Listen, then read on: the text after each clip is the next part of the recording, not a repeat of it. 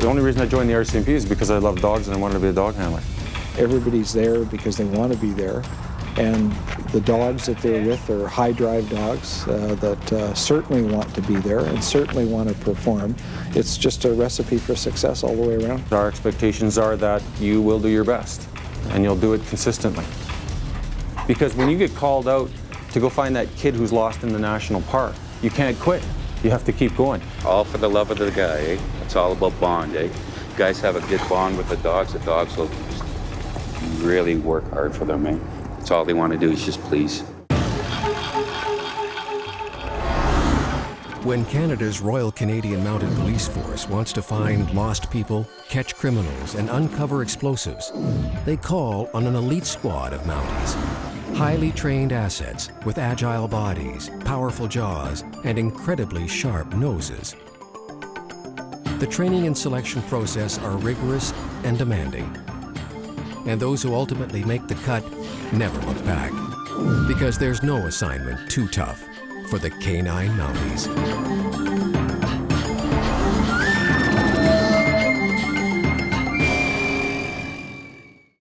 The Mountie in his dress uniform is one of Canada's most distinctive and iconic images. It's a living link to the past, when the Northwest Mounted Police patrolled the West on horseback and the North on dog sled. Those dogs were more than transportation. Their instincts and their loyalty made them a valuable part of law enforcement. Even in this technological age, there's still no substitute for the sensitive nose and determination of a dog. It's almost impossible to overestimate the role that the canine police dogs play in the RCMP. From finding missing people to sniffing out drugs and explosives. The dog's special talents and their natural desire to bond with human beings makes them invaluable. There are about 140 general duty teams in the K9 unit. Each dog is a product of selective breeding and careful training. The K9 unit is a very specialized one. Every year, only 12 constables are chosen to take the course. And to get there, they've gone through a selection process that takes five or six years.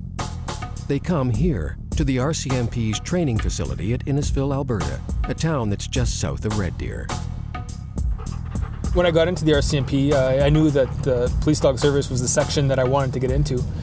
And I was willing to do and work towards uh, that career regardless of how long it would be, whether it be five years, 10 years. Um, I was willing to put that time in. Officers like Dan Block who want to be part of the K9 unit start by training a series of pups in their home division, putting them through an RCMP program called imprinting. This course involves basic understanding of how to take care of a dog, but take care of the dog in a different way from a family pet. The dog that we're going to give them, we want them to raise that dog to become a police dog. There's some subtle differences that we ask for that they uh, uh, undertake with this dog to ensure that he receives and develops the behaviors that we're looking for in a police dog. The imprinting program is designed to help the dogs build their focus and their confidence by exposing them to as many situations as possible. The dog also is required to do a lot of things that a family pet doesn't do. So once you get that dog that we give you, uh, a person that's interested in the section, you have to spend uh, a lot of times taking the dog to places that police dogs might have to go.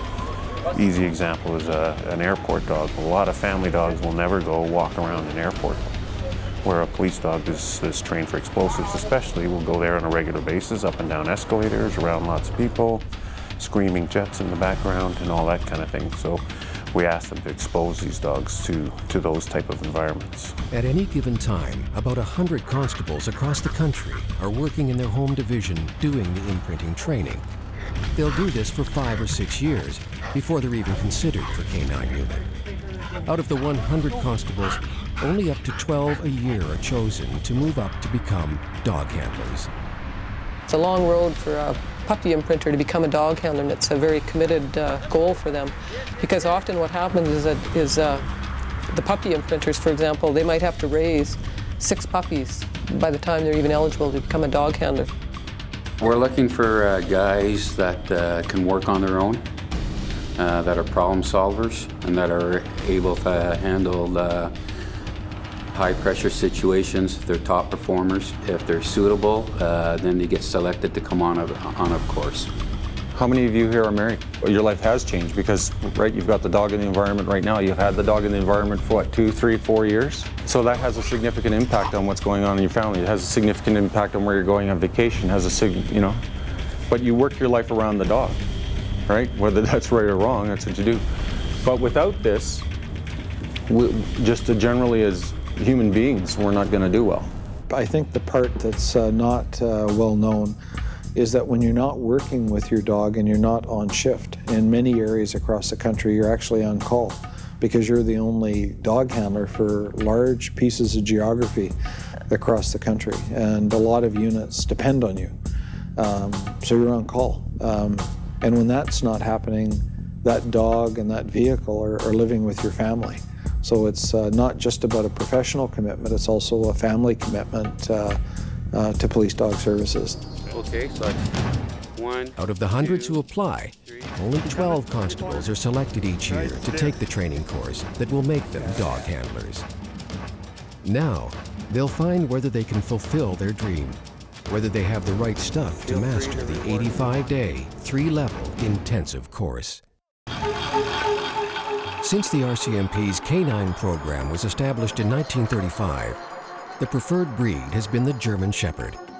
They're natural hunters, and they're smart, loyal, even-tempered, and courageous. They're physically perfect for the challenges of the job in a country where the temperatures range from hot and humid in the summer to brutally cold in the winter. And they're powerful, with significant bite power, making them perfect for catching the bad guys. But not just any German Shepherd makes a good police dog. So in 1999, the RCMP set up a breeding program using a combination of hand raising and science to create the perfect canine Mountie. From all the dogs that, that um, could have become a police dog, probably one in three of the pups that we breed will become a police dog. And that's just because of the, the package that we're looking for in a police dog.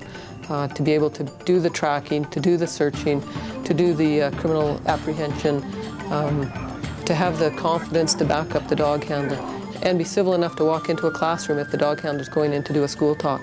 You know, that dog's just got to have solid nerves and, and be a confident dog.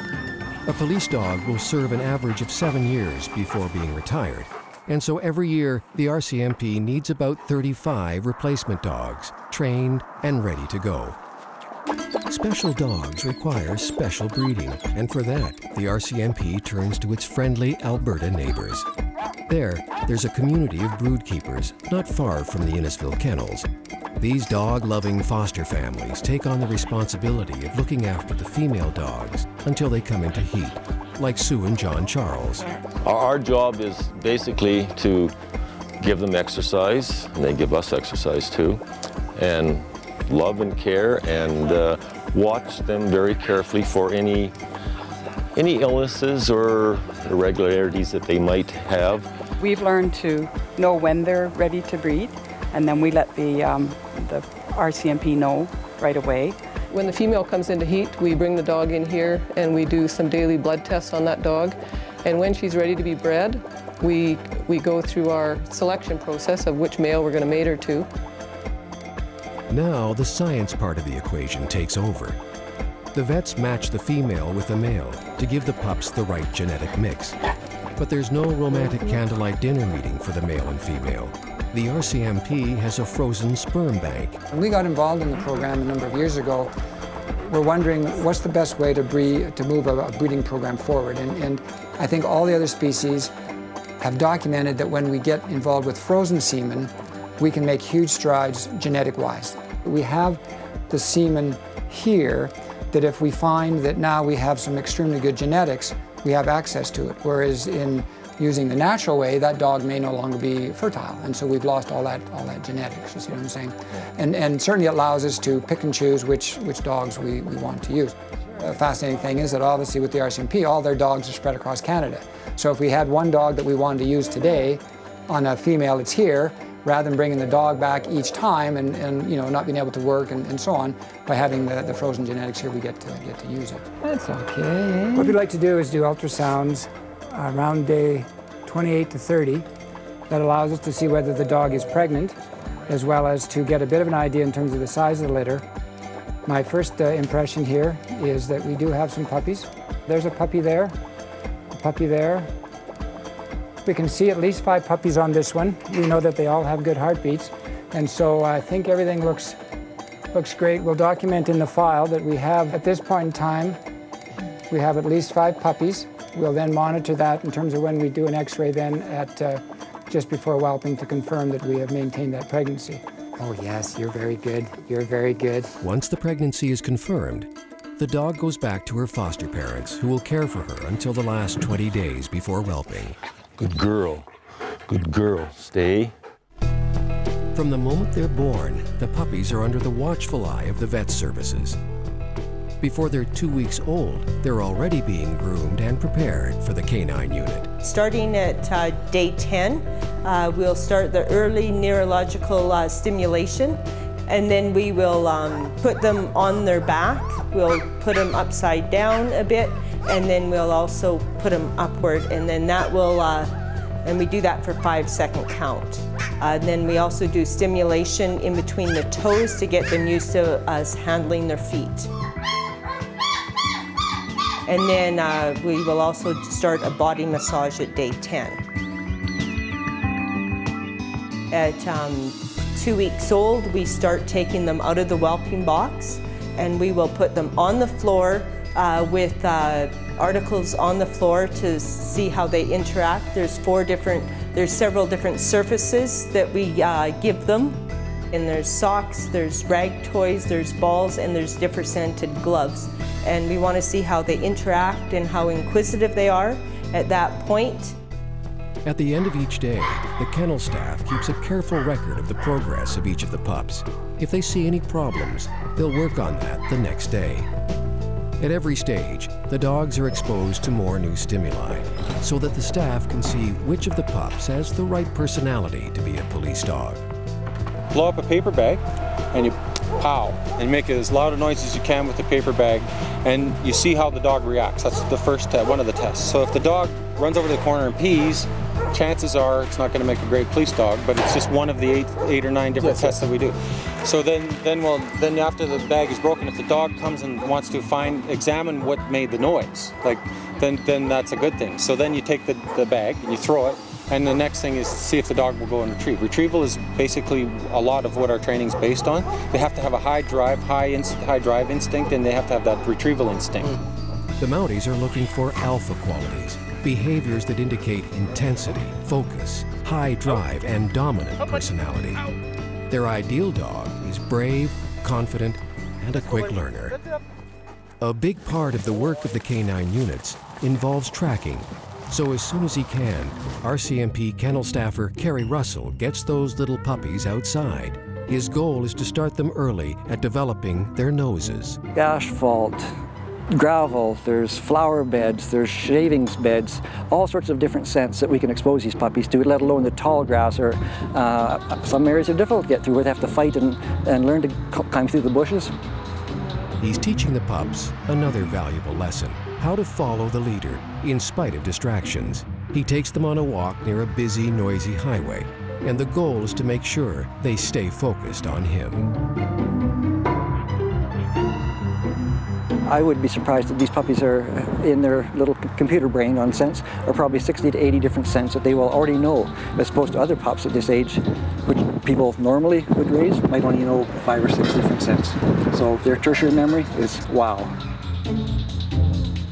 For puppies, if we all could understand that for each month the puppy grows is equal to one year of the human child.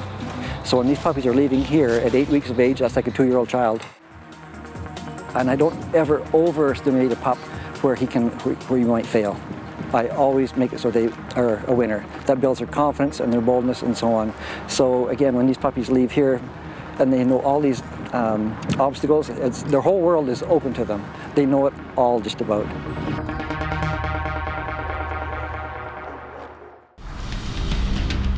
The four-footed members of the RCMP's elite canine team are a product of selective breeding and a training program that begins when they're just eight weeks old. Not all the puppies will make it through, but the ones that do are smart, confident, well socialized, and exposed to stimuli way beyond what a family pet will ever have to deal with. It's all part of creating the perfect police dog. A dog that has a certain level of independence, a certain level of confidence in himself, and outward uh, dominance that's there to a certain extent. And that just requires different things. And as for the human member of the K-9 team, constables who want to be considered for the unit spend about five years in the field working with dogs. I actually got to do a track after I hit about two years into the force with a dog handler. And uh, after doing the track, I just fell in love with the dogs and what they could do and uh, all that sort of stuff. I was always around dogs growing up, but once I saw a dog that could actually track and work, I just, it's what I wanted to do. We're trying to find the best people for the job. The thing is, is I don't want to string any anybody along either. I don't want to have anybody raise dogs for us just for the fun of or for because we need it done. I want to have people who truly want to be here. There's a thousand people that have checked off that they want to be a dog handler. But, uh, I mean, there's only 140 of you in the whole in the whole country. Only 12 constables are chosen every year to take the course. They're brought to Innisfail, Alberta to take an intensive three-level, 85-day training course. So there's four or five days of lectures at the start of the course where a lot of theory is presented to them and they have to grasp it relatively quickly. And then in that second week, or sometimes in the afternoons even of the first week, they're starting to get some basics uh, of the actual handling of a dog, some tracking, some obedience, and some criminal apprehension that they start taking part in. Ready to go search? It's a lot very quickly that they have to learn because you can't afford to make a lot of mistakes with the dog in his training. It has to progress steadily, consistently to get to the end of level one. The trainers here, they want you to succeed. So if you're the if you're a learner and you're here to, uh, you know, keep your mouth shut and your ears open and uh, take what they're giving you, I think you'll be successful. Now it's the real thing, right? And uh, a lot of people are curious as to how it all works. Some people think as though there's a little bit of magic involved, but really working a dog is just a lot of hard work, love, and patience, and all that kind of stuff. Over and over again, the constables will be reminded that the most important thing is the quality of the relationship they have with their dogs. This comes out in different ways in the literature. It comes out as patience, comes out as uh, the ability, what do you think, the ability to read the dog. It also comes out as being genuine have that genuine interest in the animal and how the animal's doing, how the animal feels, how, how, how to be able to read that animal, right? And that's something that, that, that Dave's going to work with you on right through from now till the time you're done. You got to be able to know what that dog's thinking to some degree. What you need to understand is our expectations are that you will do your best and you'll do it consistently. Because when you get called out to go find that kid who's lost in the national park, you can't quit. You have to keep going. So we're happy to have you, and I think you're all pretty happy to be here. So um, basically, just go do your best. After only four days in the classroom learning theory, it's out to the field for what they've been waiting for. Let the training begin.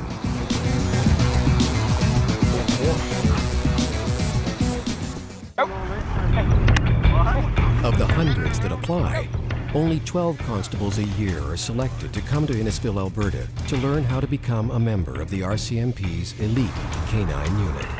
And now, those chosen few are heading out into the fields to learn how it's done. The RCMP constables are having to assimilate a lot of information at once.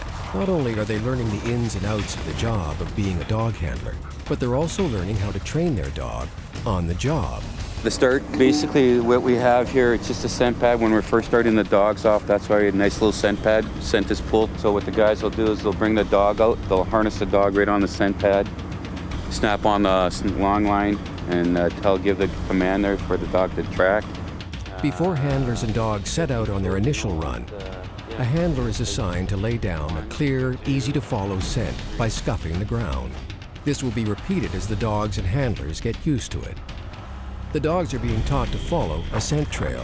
The constables are learning what might be the most important lesson to simultaneously use your judgment and to follow the mantra of the K9 section trust your dog.